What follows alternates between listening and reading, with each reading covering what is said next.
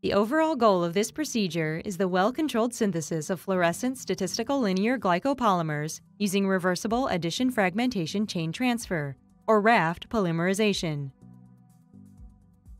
This is accomplished by first synthesizing the glycomonomer 2-lactobioamidoethyl methacrylamide, or LAEMA. The second step is to use raft polymerization of LAEMA N2-aminoethyl methacrylamide, or AEMA, and N2-hydroxyethylacrylamide, or HEAA, to synthesize the corresponding low dispersity glycopolymer. Next, the glycopolymer is modified on one of its primary amines by reaction with carboxyfluorescein succinimidyl ester to produce a fluoresceinated glycopolymer. The final step is to bind the fluoresceinated glycopolymer to lectin-coated agarose beads with known carbohydrate binding specificity.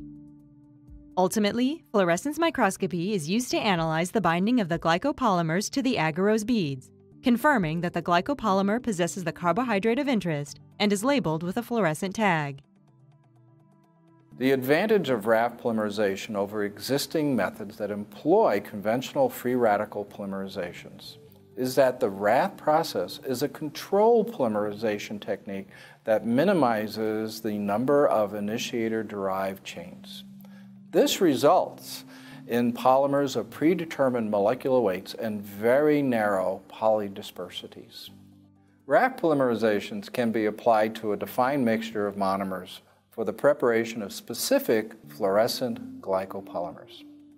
These glycopolymers have defined binding abilities that can be verified by the use of lectin-coated beads.